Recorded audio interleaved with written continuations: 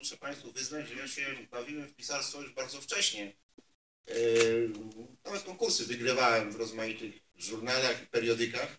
I śledziłem, może nie tak uważnie, ale tak sobie pobieżnie patrząc, czy ktoś jakiegoś konkursu nie ogłosił. W sumie było mi to wszystko jedno, czy to kobieta i życie, czy żyjmy dłużej, czy śpijmy krócej, czy, czy no, to było mało istotne. Tematyka zresztą też. Napisało się opowiadanie i albo się wygrywało konkurs, albo się nie wygrywało konkursu, albo w ogóle nikt nie zauważyli, albo zauważyli, wyróżnienie dali, albo zapłacili, albo nie. No i to tak mm, w pewnym momencie doszło do tego, że znalazłem takie ogłoszenie o konkursie literackim. Już to był drugi konkurs literacki, teraz to wiem, wtedy nie wiedziałem.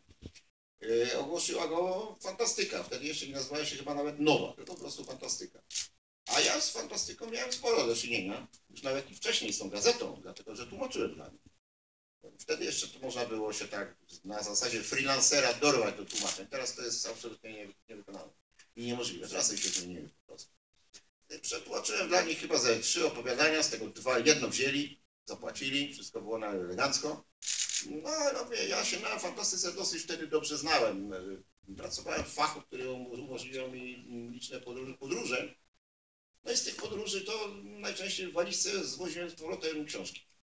Najczęściej fantastyczne.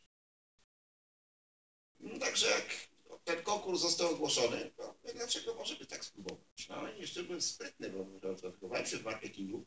Wiedziałem, jak tam klienta trzeba z mańki zażyć, żeby podpisał ten kontrakt.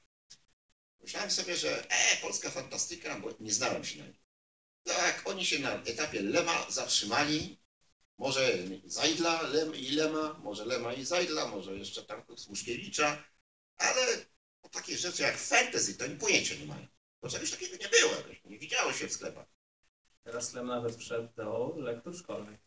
No i prawidłowo, bo wiele rzeczy znam, które powinien sam wyjść, a wiele rzeczy wejść. Jak Lem szedł, to już jest dobrze, ale skończę. Teraz pora na pana Andrzeja Sapkowskiego. No nie daj Boże, żeby dzieci się uczyli kleły.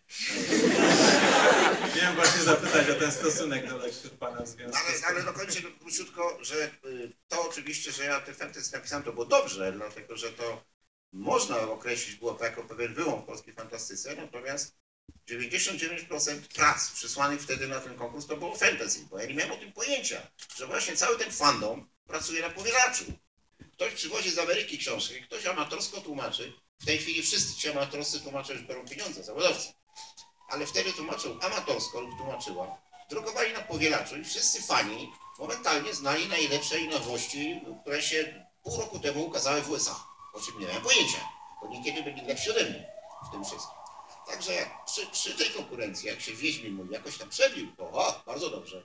Patrz Pana Boga, znaczy nie zadecydowała koniunktura, tylko talent. Ha, ha, ha. Dobra, z sali ktoś, bo tak my tu gadamy sobie o tego, może